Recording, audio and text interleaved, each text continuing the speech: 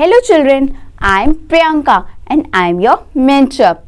Today I am here to start with the chapter number 6 that is Climate of India. So let's kick start. Answer the following questions. When do you like to wear cotton clothes? Dash. When do you like to wear woolen clothes or jackets? Dash. When do you use an umbrella and a raincoat? Dash. Weather and climate. When you say it is cold today or it is rainy day, you are talking about the weather. Weathers refer to how hot, cold, rainy, windy or cloudy.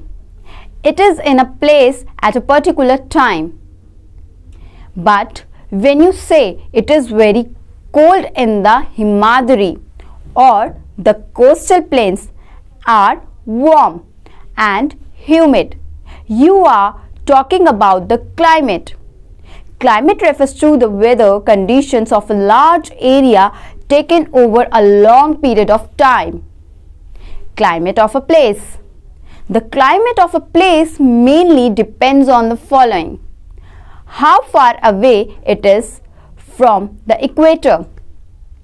The farther away a place is from the equator, the colder it is expected to be. The northern part of India is cooler than South India. How high it is. The higher place, the colder it is. For example, the higher you go in the Himalayas, the cooler it becomes. How far it is from the sea. The winds from the sea affect the climate of the place. The coastal plains are neither too hot nor too cold because of the breeze from the sea. The plant and animal's life found in a place, the food that people eat and the dress they wear depends on the climate of the place. Seasons Most places experience a few months of hot weather, a few months of rainy weather and a few months of cool or cold weather in a year. Each of these revisions of the year that have particular weather patterns are called seasons. India has the three main seasons during the year summer, rainy season and winter. The general weather condition of a place during these seasons determine the climate of the place. Summer The summer season starts in March or April and continues till May or June in South India. It starts becoming hot in March and stayed hot till after May. In North India, Summer starts in April and goes on till June and July. In summer, it is hot and dry in almost all parts of India except the mountains. The sun is very hot and days are longer than nights. Hot dry winds called Lu blow in the northern plains. Dust storms are also common in the region. The coastal plains are not so hot in summers because of the cool sea breeze. However, it is very humid. This is the amount of water vapor or moisture in the air is high. Humid weather is uncomfortable and as it makes us sweat a lot and the sweat takes a long time to dry. Rainy season. From June onwards, winds full of moisture from the Arabian Sea and the Bay of Bengal start blowing to the land. They are called monsoon winds. They bring rain to India. This season is called the monsoon.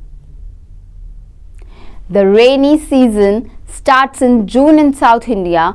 In North India, it starts towards the end, end of June or beginning of July. It continues till September. Some parts of India such as the western coast and the northeastern states get very heavy rainfall. Mawsynram in the Khasi Hills in Meghalaya receive the highest rainfall in India. Parts of the northern plains and the southern plateau receives heavy rainfall.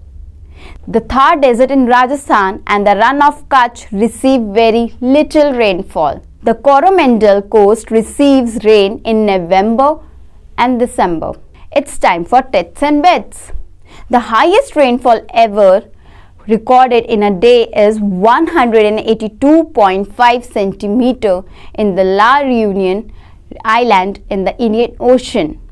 The highest rainfall ever recorded in one year is 2540 centimeter in Cherrapunji, India.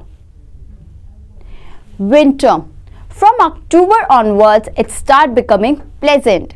The sun is not so hot. The days start becoming shorter and the nights longer. This marks the beginning of winter. It continues till February or March. January is the coldest month.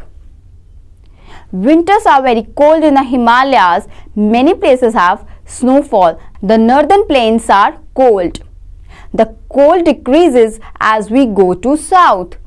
The coastal plains are pleasant during winters. Now it's time for looking back. Climate refers to the weather of large area over a long period of time. Climate depends on the distance of a place from the equator, the height of places and the distance from the sea and mountains. There are three main seasons in India, summer, monsoon and winter. Summer starts in March or April and end in May or June.